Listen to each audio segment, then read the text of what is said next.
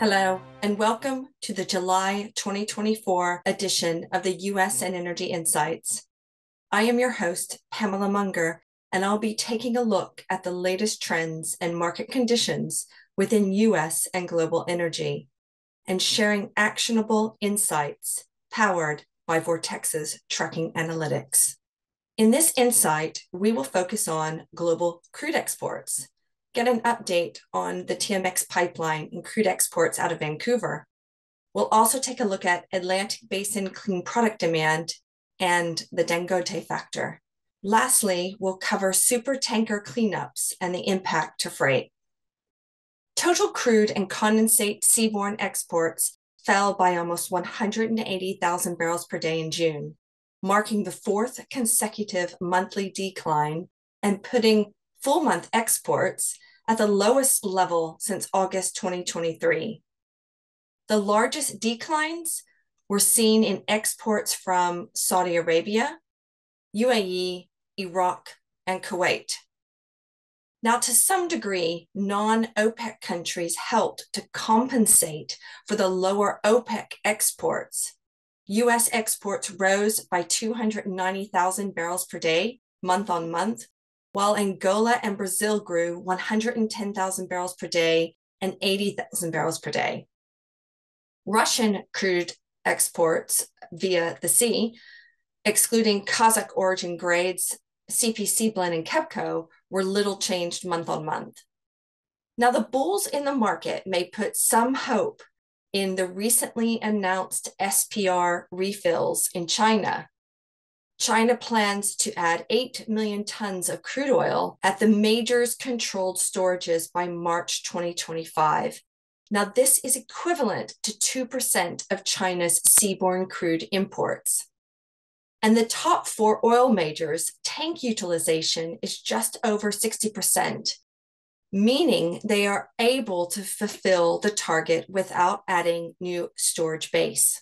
However, oil prices above $85 per barrel may put immediate stock builds in check, especially as weak Chinese refinery runs persist. And you can see here that implied refinery runs using Vortexa's onshore inventories and crude import data are likely to dilute the SPR buying. Now, taking a further look into US seaborne crude exports, we can see on the left-hand side chart that Canadian crude exports out of Vancouver surpassed those from the US Gulf Coast, while the right-hand side chart highlights the Canadian crude exports to Asia reaching record highs. Looking ahead, the global decline in seaborne exports is a strong support factor for outright crude prices, as opposed to any momentum from the demand side which certainly appears to largely be lacking this year.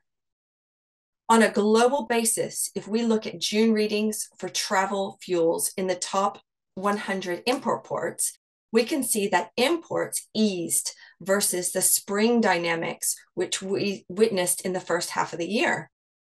Now, motor fuel imports are just as high as last year, but not higher. Margins, nevertheless, are lower which points to an ample supply potential apart from range bound demand. Now, the latest trend for gasoline and jet is not upwards in spite of the summer travel season. Now, if we take a look at East Coast Canada and the US Atlantic coast, we have seen an increased share of clean product imports from Europe. However, the spike has been short lived. Now, the spike from Asia was due to higher levels of jet imports and blending components into PADD 1. Gasoline imports in May reached levels above 12 and 24 months, but have fallen underneath seasonal norms. Meanwhile, America's West Coast clean product imports continue to look towards Asia. Peru has been importing diesel, and the US West Coast has been importing more diesel from Northeast Asia. Panama Canal constraints have also kept flows to this region somewhat constrained, as well as high freight demand between the US Gulf Coast and East Coast Mexico and the Caribbean. The bullish light in all of this has been Mexico East Coast, where we have seen gasoline imports surge. Now, this is mainly due to refining inefficiencies and unplanned outages that have moved the needle on Mexico's refining run rates from a multi year high reached in March of 65.3%, which has fallen down to around 51.8% in May.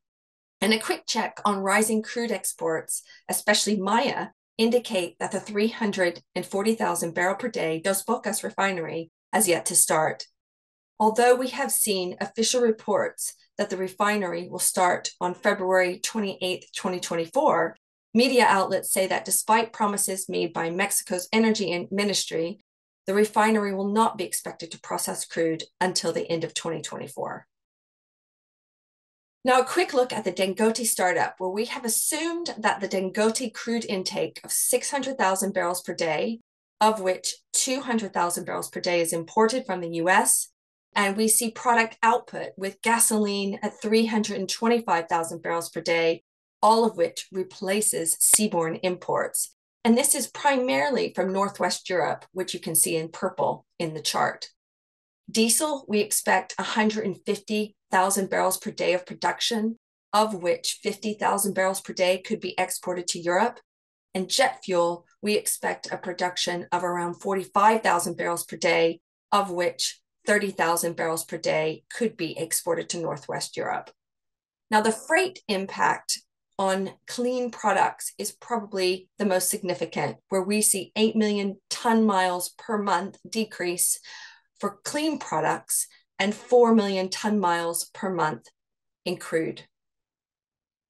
Lastly, a quick look at supertanker cleanups, which are keeping LRs east of Suez and could exert more pressure on MRs.